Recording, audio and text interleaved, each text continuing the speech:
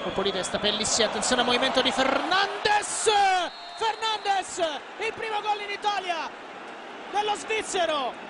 2-1 per il Chievo Gelson Fernandez primo gol italiano sull'azione splendida del Chievo la sponda di Granoce prima di Pellissier poi il 2-1 del Chievo al San Paolo il Napoli adesso incitato dal suo pubblico si trova sotto come si era trovato sotto in casa con il Bari.